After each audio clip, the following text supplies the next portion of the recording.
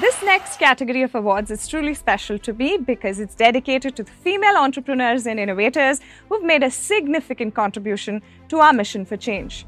Women have historically been underrepresented in the field of science and technology.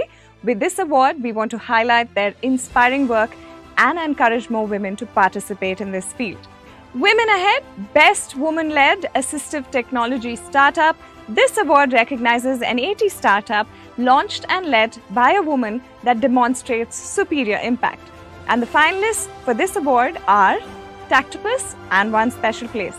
And as always, audience, be ready to applaud this incredible achievement. The award goes to One Special Place. Hi everyone, I am Pratiksha Gupta.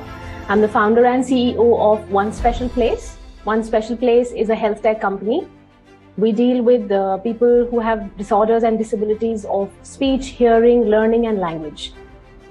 In the past, we have had some noteworthy contributions because we've amalgamated technology and we uh, provide uh, access to online treatment of uh, such disorders. We are grateful to ATF Awards. Uh, it is a milestone that we have reached their uh, final round. Thank you, ATF. The company's success uh, lies in a fact that we have a very clear vision. We want to make our service accessible to millions of people who need us we are geared towards using technology in its most innovative form so that we can provide quality treatment uh, for people with such disabilities.